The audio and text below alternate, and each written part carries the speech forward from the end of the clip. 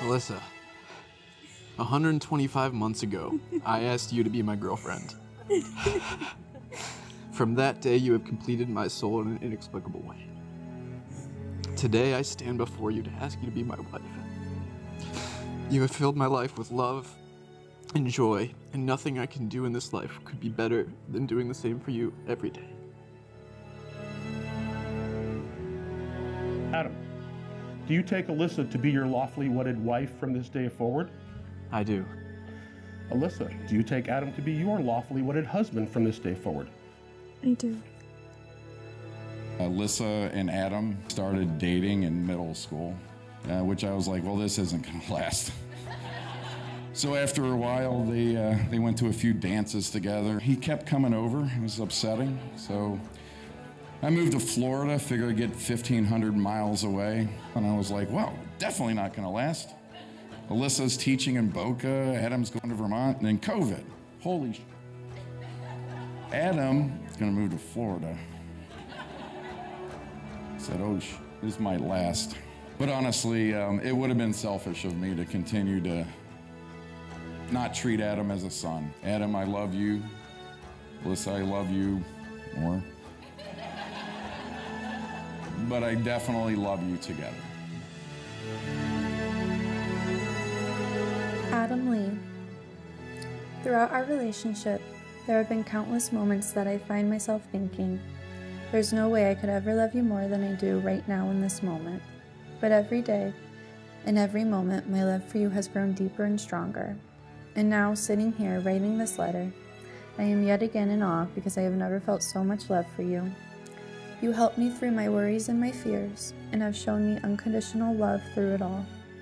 You have always been there, holding on strong when I needed you the most. And to be clear, I will never not need you. I love you forever and always. Love, Alissa. Well, you're about to walk out, and I cannot wait to see you in your dress for your first time. I've been waiting for this moment for about 10 to 12 years. I'm already crying. You look so handsome. I love you. Love you too. Adam has told me how the adults in his life are also his role models, especially in the relationships they have with each other. You both have grandparents who have been married over 50, even over 60 years. Alissa, your parents have been married for over 25. What shining examples of how to create and sustain a life together. When Alissa and Adam started dating over 10 years ago, it didn't take me long to see what she saw in him. Especially since Adam never complained about me constantly tagging along, even during cuddle sessions. One of my favorite memories is when I was in the car with them as teenagers. Adam got out to not only pump gas for Alissa, but came back with two Arizonas, two candy bars, and a box of donuts for the two of us. Alissa, I hope you're grinning the way that I am as I write this. With more than 3,800 days of memories, and different chapters of our lives, a new beginning starts today. I promise that though I cannot control the wind, I will be your ship to carry you to safety. I promise you that you will never be lonely, for I will always be your companion. I love you forever and always, Mrs. Washburn.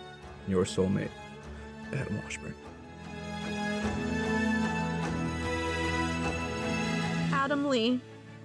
I'll never know how, but at 14 years old, I just knew it was you. And it was, and it still is, and it always will be you. I love you for the boy that you were, the man that you've become, and all the other versions of you that I cannot wait to see.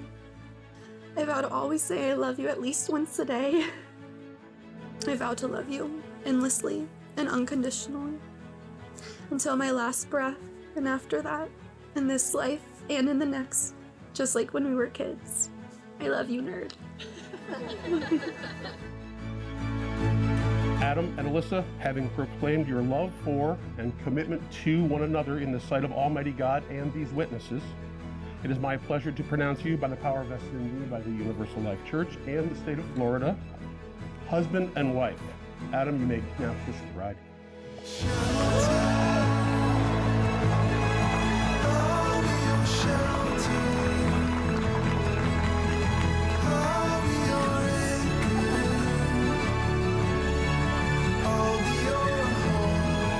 Gathered guests, it is my great pleasure to present to you Mr. and Mrs. Adam and Alissa Washburn.